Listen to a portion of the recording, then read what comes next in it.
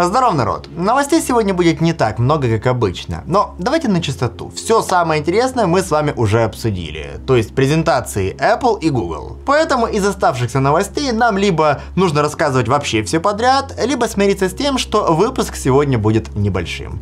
Мне кажется, второй вариант правильнее. Сегодня в разогрев попали новости, которые совсем чуть-чуть не дотягивают до того, чтобы попасть в рубрику «Дичь». Начнем с того, что хакерская группировка Disorden взломала сервера компании Acer, после чего слила в сеть 60 гигабайт данных о покупателях, клиентах, ритейлерах, дистрибьюторах компании и даже финансовую отчетность. Но самое смешное произошло через неделю, когда хакеры решили выяснить, что из всей этой ситуации извлекла компания Acer. Как оказалось, ничего, ее снова взломали без каких-либо проблем.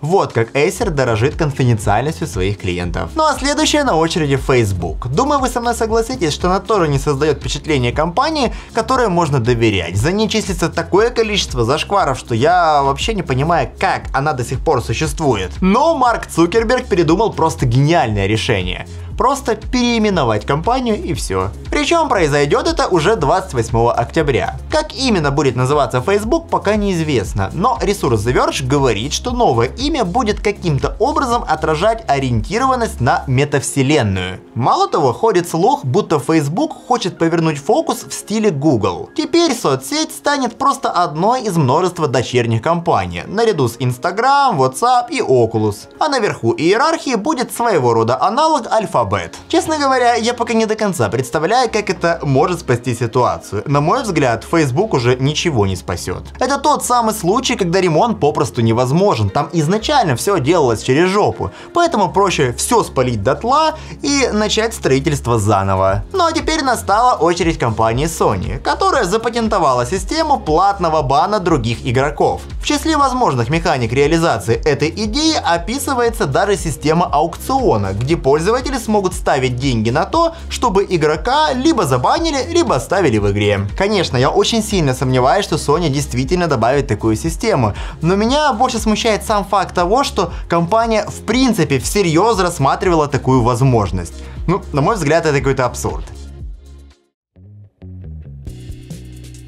Кажется, Samsung потихоньку спускается с небес на землю. Компания признает, что с каждым месяцем ей все сложнее становится конкурировать с китайскими смартфонами, и поэтому настало время перемен. Корейцы намерены постепенно снижать цены смартфонов в линейке Galaxy A, но делать это планируется не за счет снижения маржи, а за счет удешевления составляющих. Например, модель Galaxy A73 получит AMOLED-дисплей не от Samsung. Вместо этого компания планирует закупить более дешевые панели у китайских китайских поставщиков. Честно говоря, не знаю, насколько это поможет, но слава богу, Samsung наконец-то заметили конкуренцию. Правда, есть вероятность, что для жителей России это уже будет не так важно. 19 октября арбитражный суд Москвы запретил Samsung возить, продавать и хранить свои смартфоны на территории всей Российской Федерации.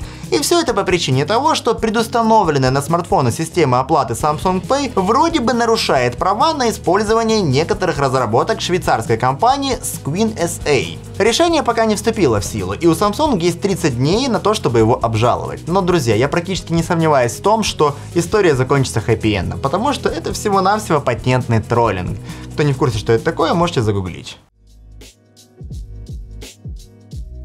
Вот уже несколько выпусков подряд я наглухо игнорирую компанию Huawei. Все потому, что я не хочу грузить вас нытьем. Все плохо, санкции душат, процессоры без 5G, ай, продажи падают, ужас.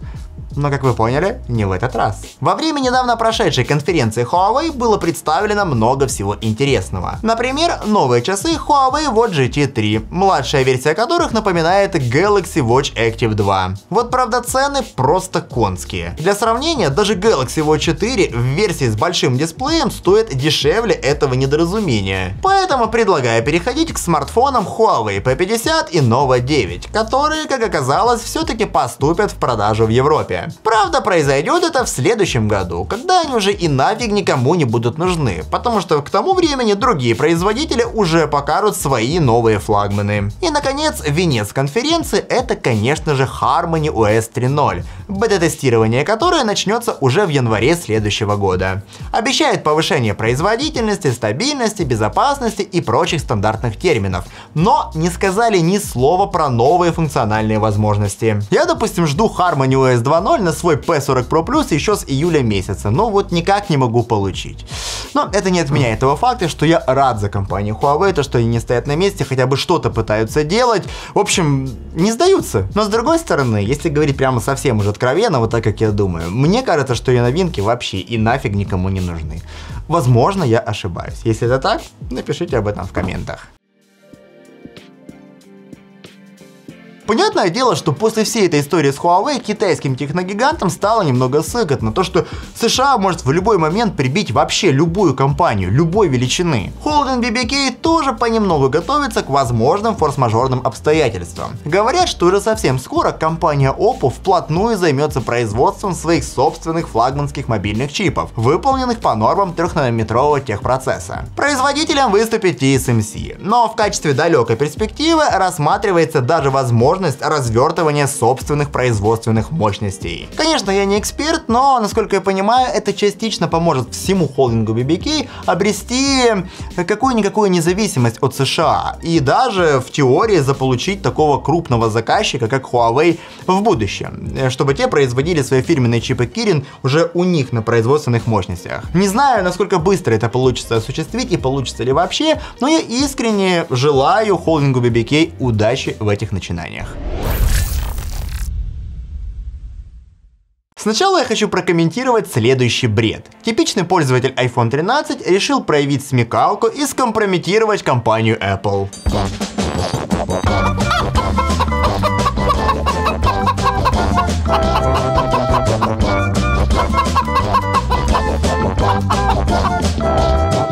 Вам несколько секунд на то, чтобы вразумить, что здесь вообще только что произошло. Только, друзья, не подумайте, я не сижу в ТикТоке. Просто этот ролик завирусился и сейчас его обсуждает весь интернет. В общем, эта тупица думает, что компания Apple всех развела с дополнительными модулями. А вывод она такой сделала после того, как записала видео на основной сенсор. Что я могу сказать? Все было бы не так больно, если бы этот видос не принес в своих зубах мой товарищ и не задал мне вопрос. Это правда? Разумеется, в его руках был iPhone. После этого я подумал, боже, храни всех тиктокеров и владельцев iPhone. С ними у меня всегда будет контент. Вон, в прошлом выпуске я вам рассказывал про салфетку за 28 долларов. И на тот момент очередь за ней выстроилась до декабря. Теперь же она растянулась до середины января. И тут есть три варианта. Либо дефицит коснулся и салфеточного бизнеса, либо в этом мире слишком много дураков, либо салфетка настолько крутая, что я сейчас сам возьму и оформлю на нее заказ заказ. Но мне действительно интересно, что это за магия такая. Причем я не шучу. Вы знали, что оказывается в челке для последних макбуков не нашлось места для сенсора, который обеспечивает работу Face ID. То есть туда втулили Full HD камеру, датчик Truton, а самую главную фишку, которая, допустим, объясняет моноброй в айфонах, проигнорировали. Аргумент следующий. В таком случае щелка была бы еще больше. Плюс ко всему на рынке дефицит всего и вся, поэтому нет. Держите просто вот такой вот новый элемент дизайна. Еще купертиновцы считают, что Touch ID вполне достаточно. Окей, зачем вы тогда его выпилили со своих айфонов и втурили туда Face ID? В общем, очередной странный поступок Apple, который зацепил не только фанатов Apple, но и не фанатов. Ладно, я понимаю, что инфоповоды сегодня говно. Я сделал все, что было в моих силах. Больше я не буду вас насиловать. Переходим к Xiaomi. А у Xiaomi, несмотря на то, что в последнее время они не особо радуют, все хорошо. Вслед за смартфонами скоро они начнут выпускать электротачки, и произойдет это в 2024 году. Согласен, не быстро, но это уже не просто треп, а официальная информация, после которой акции бренда тут же подскочили. Честно, я не до конца уверен, что это хорошая идея, потому что, на мой взгляд, каждый должен заниматься своим делом. Но я же не иду снимать обзоры автомобилей, потому что знаю, с этой задачей гораздо лучше справляется академик. И в моих словах есть логика, согласитесь. Но все равно не буду скрывать, мне интересно, что там у них получится. Ради такого события я бы даже полетел прямиком в Китай. Ну, для того, чтобы э, пощупать их новый продукт в числе первых. Что думаете по этому поводу? Интересно или нет? На днях в сеть попал патент нового смартфона Xiaomi, который получил тот самый дисплей с изгибами с четырех сторон. Ранее все думали, что его получит Mi Mix 4, но этого не произошло. Видимо, завезут какую-то будущую новинку, потому что аппарат на патенте не выглядит как что-то нереальное. Возможно, изменят дизайн тыльной панели, потому что тот вариант, который нарисовали Let's Go Digital, и впрямь выглядит уродливо. Это подчеркнул и один из топ-менеджеров Xiaomi, когда фанаты начали вовсю кричать, что вот он будет будущий Xiaomi 12.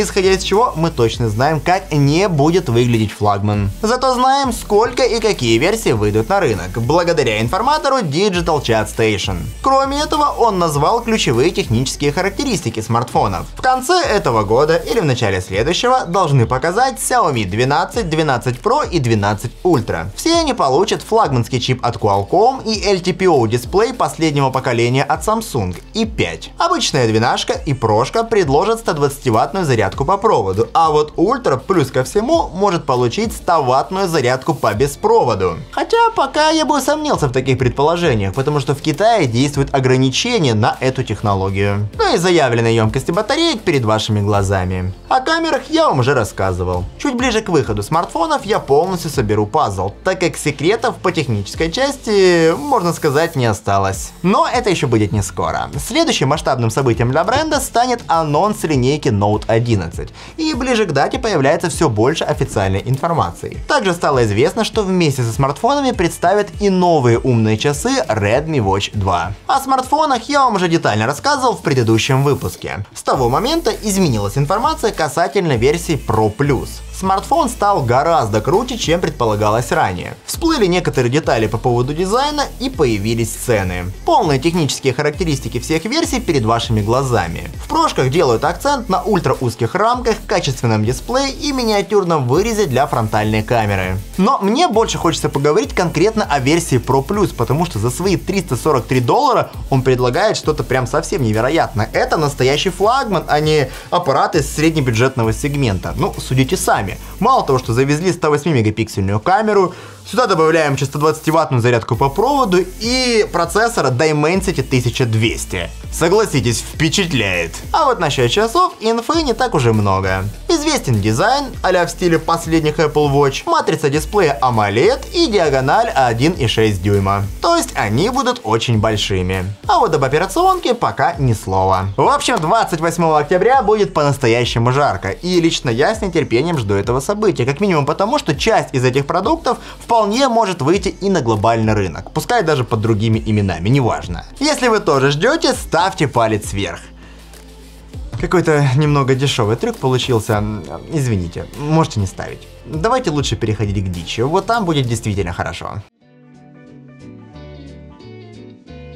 Сегодня я отложил для вас две прикольные новости, и я практически уверен в том, что они вам зайдут. Наверное, каждый уже много раз натыкался на дипфейк видео, где главному персонажу какого-то фильма подставляют чужое лицо или чужой голос. Так вот, один мошенник в Арабских Эмиратах нашел способ ограбить банк с помощью этой технологии. Он просто позвонил в банк и сказал голосом руководителя, что якобы управляющий дал добро перевести 35 миллионов долларов. Типа там у них какая-то крупная крупная сделка. Естественно, управляющий узнал голос своего руководителя и подтвердил сделку. Мне кажется, это было самое легкое ограбление банка за всю историю. А еще наверняка многие из вас уже слышали утверждение, якобы, что бы ни произошло в нашем мире, это было предсказано в Симпсонах. Так вот, кажется, эта штука вышла из-под контроля. В Британии появилась вполне реальная вакансия аналитик Симпсонов. В задачу работника входит пересмотр и анализ всех серий мультфильма, с целью выявления ситуаций, которые действительно могут произойти в реальности. И это не шутка, представляете себе, каждый день какой-то чувак будет приходить на работу, пересматривать серии Симпсонов и делать отчет с подробным анализом каждой серии. Что вообще происходит? Мне кажется, это уже за гранью здравого смысла. Подумаешь, э, в Симпсонах предсказали пандемию коронавируса, результаты соревнований, выбора президентов, полет в космос э, Ричарда Брэнсона, штурм Капитолия. Блин, знаете, а может быть это не такая уж и бредовая идея. Пишите, что вы думаете по этому поводу, а у меня на сегодня все. Огромное спасибо за просмотр, спасибо за ваши пальцы вверх, подписки на канал, если еще не подписаны, и да пребудет с вами Android. Пока-пока.